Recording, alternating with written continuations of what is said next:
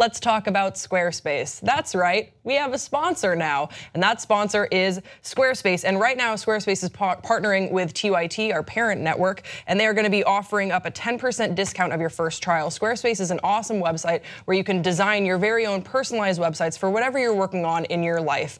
Uh, I have some personal experience with the website. That is, my girlfriend, I guess now fiance, has a blog that she documents our own travels, um, our, our life together, and it's called have Dog Will Drive. It's wonderful, and she created it with the help of Squarespace. Before this sponsorship even occurred, she just knew that it was the place to go to create a website that was simple and user friendly and has gotten her some readers from all over the world. So check out her blog, Have Dog Will Drive, and also head over to squarespace.com slash TYT for that 10% discount. I can't wait to see what you guys are working on.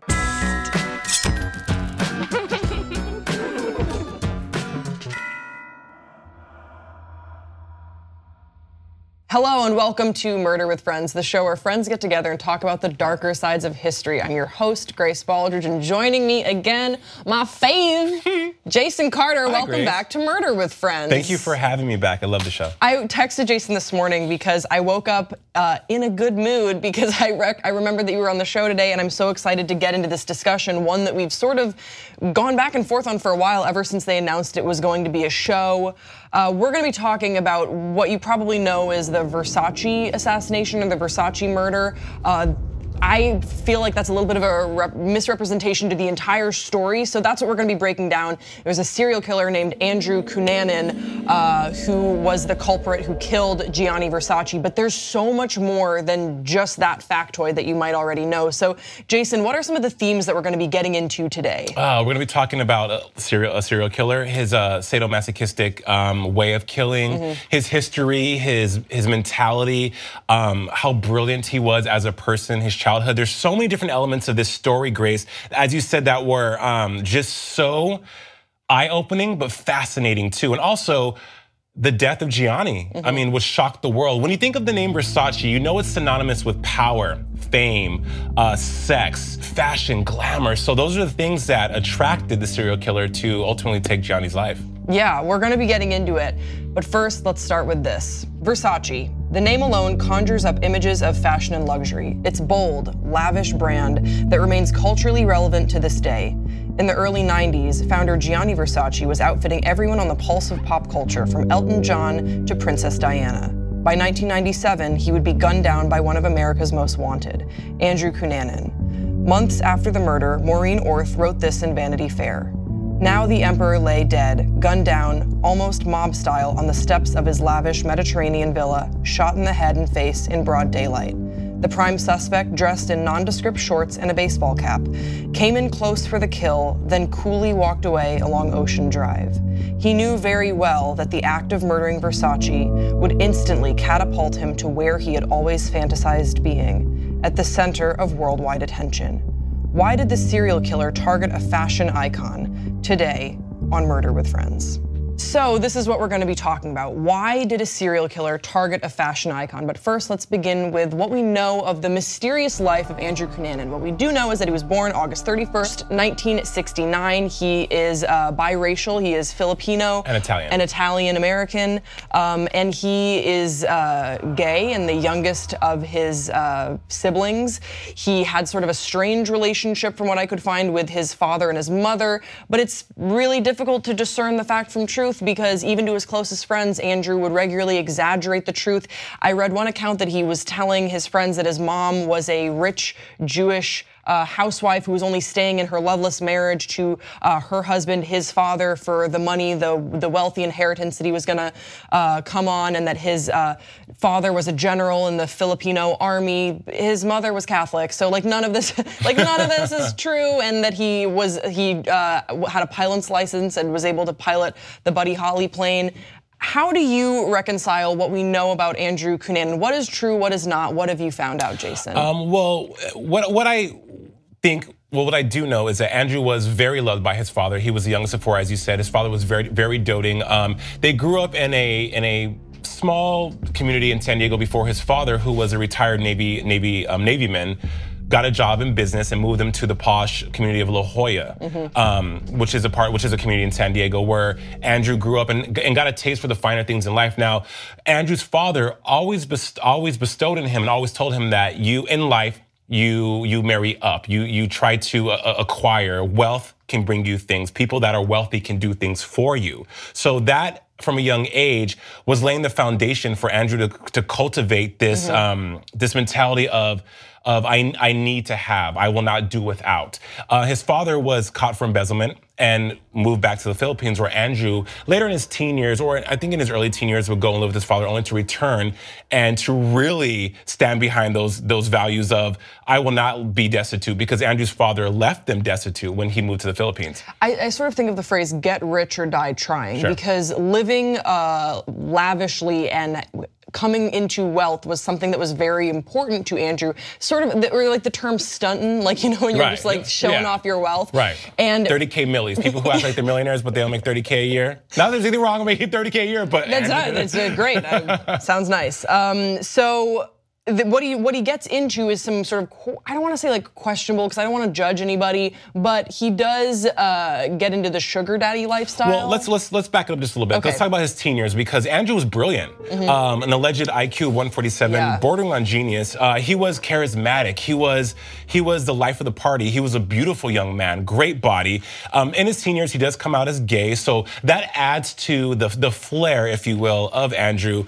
And he he was great with words. He could, he was well studied. His brother was on record saying that he memorized the whole Encyclopedia Britannica and could quote mm-hmm. things from different volumes. So this guy was someone who was not a feeble-minded. He was brilliant. And I say the word brilliant in, in the sense that he would weave these stories of, of, of lives that he would want to have. Fame and notoriety were things that, that drove his, his uh, psyche, even from a young age.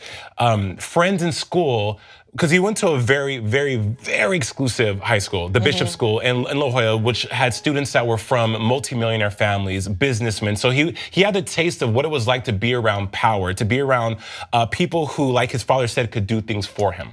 And it, it's interesting that you, you bring up uh, his father because as we're going to get into like the the relationship with older rich men that he sort of sought out, that was his type for a time. Um, but also just to piggyback off what you were saying, I, I read that he was the guy at parties that if you had a painting on the wall, he could tell you uh, who the painting was by and a little bit about the history of that painting. Just Absolutely. he was so uh, he was so knowledgeable, but also really twisted. And a lot of his friends even knew even though they liked him, that he would lie to them about stuff. Right, and that would be a common theme that would carry um, Andrew. That was that would be with Andrew throughout his adulthood, mm-hmm. up into the Versace murders. But the, the fact being is that he might have been brilliant, but he really only held one job, one uh, actual job that we could find, which was something in a department store right. uh, that he got through his mother. And outside of that, he grows up pretty quickly. And like I touched on earlier, he gets involved in like the sugar daddy scene. Right, with Norman Blachford, who was in La Jolla and in the San Diego area, a very wealthy tycoon. He's young though. Like Andrew right. was young when this is going on, right? And Norman was 72. So he he knew that older men, older closeted gay men or older mm-hmm. openly gay men would be attracted to him because he was young, he was in shape, he was beautiful, he was charismatic, he was fun. You know what I found out too is that apparently he was running uh, in in the circles that he wanted to be running in, where he was a member of this really private, um, secretive Republican uh, Gamma Mu. Gamma Mu, uh, this secret group of closeted closeted Washington officials, yes. and they would have these really lavish, high-end uh, get-togethers. And Andrew just found his way in there using a, a, different last name. So I guess you can say an alias. De Silva. De Silva was his. He would say he's Andrew De Silva, and a lot of people would would know him until uh, he was America's Most Wanted as Andrew De Silva. Yes. Like his identity was concealed again, even from those he was closest to. Another thing that I've heard from people is that, that he was a really good listener, and he would really listen to you, and then you would recognize you didn't really know that much about him, um, except for the stuff that he wanted you to know. So he wanted you to know about the fantastic oysters that were $800 that he'd had last weekend, but then you'd be like, I don't does he have a brother? I have no idea about his siblings. Right. weird. People like that, people who are hiding something that are that are that brilliant are constantly in the stage of or in the in the mode of I have to always project this personality. So the less you know about me, but what you can see that I'm giving you is all you need to know. It's like uh, not keep your enemies close, keep your friends close, keep your enemies mm-hmm. closer, but um, everything's on a need to know basis. Also, to supplement some of his income, he was selling pharmaceuticals to to yeah. people in and out of the gay the gay community where he was living, and then also at these parties. So if you need to get Vicodin, Oxy, any kind of party drug, Andrew was the go-to guy for that. Yeah, I, I, you know what's kind of funny is I feel like we're gossiping about. I know. I feel like we're talking so shit about Andrew. And, Andrew, did you hear he's selling drugs? You know, which is fine. I'm totally cool to talk shit about serial killers. Like that's totally that's fine. why we're they here. deserve it. Uh, let's jump into okay. when this murder spree begins, and I would characterize it as a spree because it's such a condensed period of time. Uh, April 1997 to May 1997, and then we'll jump into July, which is when the murder of Gianni Versace uh, occurred. But what happens with these these first murders. There are four people that are killed by Andrew Cunanan, and they are uh, Jeffrey Trail, David Madson, Lee Miglin, mm-hmm. and uh, William, Reese. Uh, William Reese. And they're killed for different reasons, and I, I, think that we can examine that. So the first two that we know of are uh, uh, Jeffrey, Jeffrey Trail and David Madson. These were two very close people in Andrew's life. Extremely close. Jeffrey, I've, I've heard that he uh, referred to Jeffrey as his brother, and then David Madson was apparently his uh, long lost the love, love the love of his life. He had a photo of David on his refrigerator even after they'd broken up. They ex- they uh, experimented together sexually in a way that Andrew felt was the closest to full gratification that he'd ever experienced with he and David. And then uh, Jeffrey was just it sounds like Jeffrey just really put up with his bullshit and just had the patience of a saint. But both of these people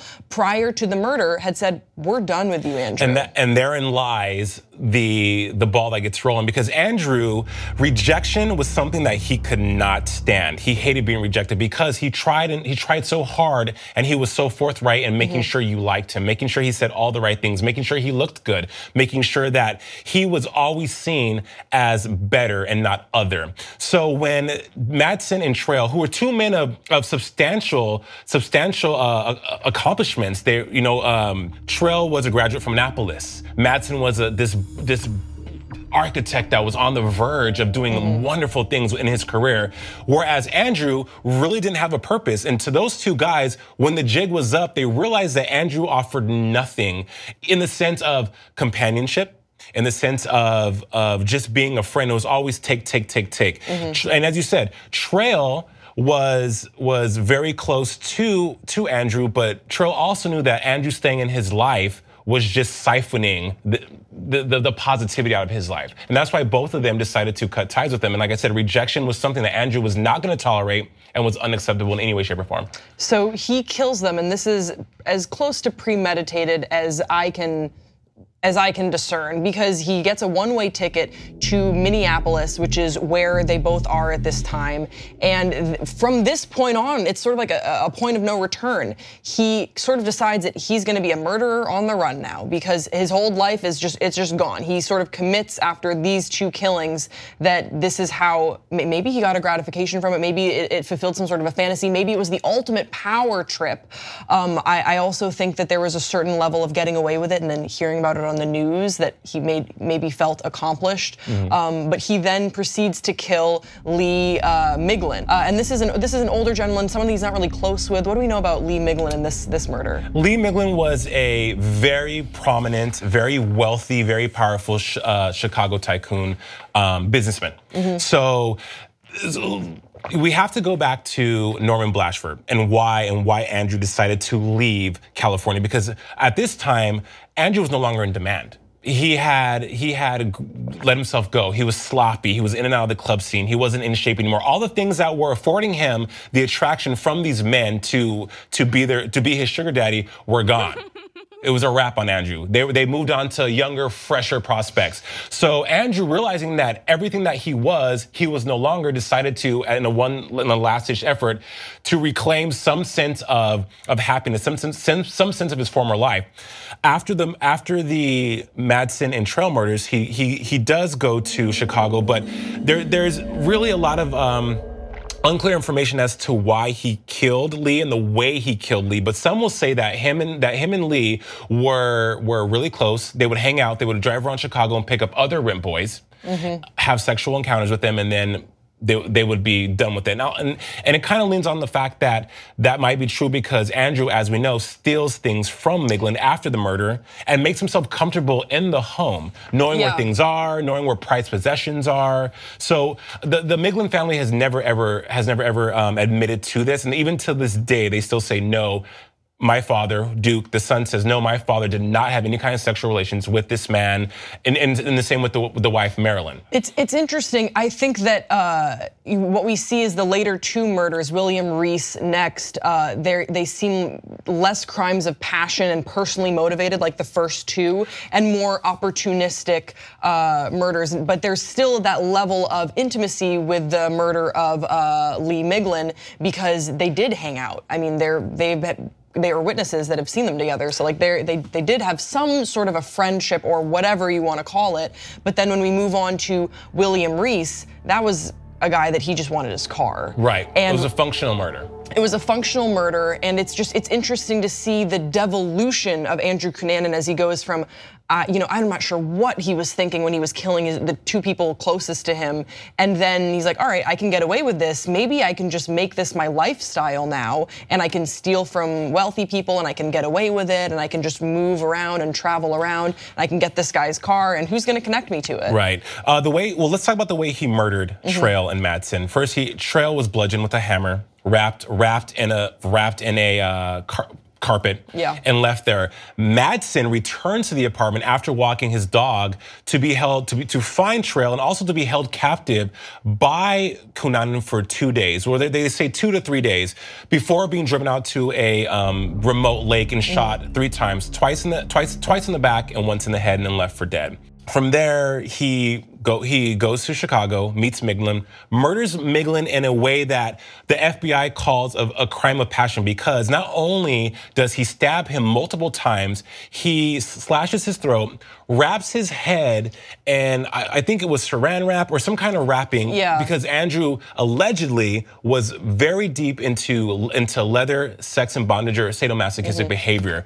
So I I, I kind of think, Grace, that he did have a relationship with Lee because the way he killed him was was so that type of murder you, you had to think about it. Wasn't like he just walked into someone's house and, and just found something to kill him. He actually had to think about how he wanted to punish lee. Mm -hmm. because a lot of people say that andrew was on this this tirade of punishment. He was getting revenge. He was he was um, holding people accountable for something yeah, I, I, I, do think it's kind of murky though, because in a lot of the coverage, you'd see people bring up his involvement in the S&M scene, and a lot of people were saying he's a total misrepresentation of the S&M scene, and uh, he was a, a, prominent dominatrix within that community, or dominate, I, I, I know so little, uh, in the community, but um, when you see the news coverage, like he was a gay S and M. It's all this, star. yeah, just furthering all this sure. stigma against something that people don't really know that much about. Right. I mean, he's a crazy serial killer. Let's leave it at like that. he did a serial killer shitty thing, and we can you know speculate on some stuff, but I, I don't want to get too much into uh, what is sexual. Sure. I don't know, right. but maybe we should. What we're gonna leave up on this segment is those were the four murders leading up to the killing of Gianni Versace. And in part two, it's what you came to hear. We're gonna tell you about the murder, the assassination of Gianni Versace by Andrew Cunanan. Stay with us.